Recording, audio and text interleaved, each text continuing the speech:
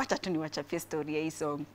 There's a time hii song tu kama imeriliziwa and we were doing 40 days of praying and fasting in church. So tuna, uh, during that time usually have midnight prayers eh?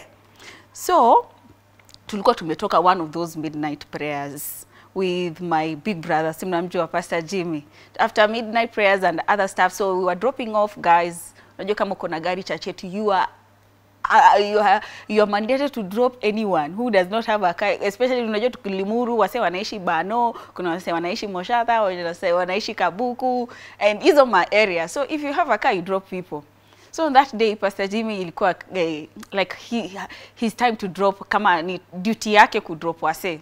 So kwa tumedrop tumedrop and I'm usually the last person to be dropped because penye naishi ni mbali sana na church.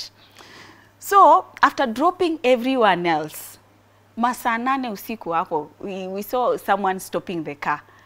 Hey, Pastor Jimmy akasimamisha tu.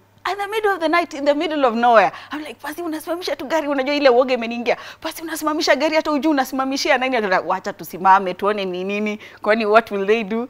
He was so confident. At, tumetoka 40 days of prayer and fasting na unaogopa Miriam. He stopped the car. Some lady came in came in with a guy. Let me say they were not sober and the moment he put in this song and started playing that lady cried sema nyinyi ni watu wa Mungu, nyinyi ni watu wa Mungu, kwani unaweka hii song? Let's just say we prayed for her and I hope wherever she is, she is well. So this song inanikumbishanga tu hiyo instant vile tulikuwa tunatoka Limuru. May God help that lady wherever she is. And if you're seeing this, because I know you may be seeing this, please reach out to me. Anyway, Also another story, juu niko na story nyingi leo during inspiration vibe, niko na story nyingi. Have you guys seen Black China? She got baptized, she got born again, removed all her tattoos. Do you know who Black China is?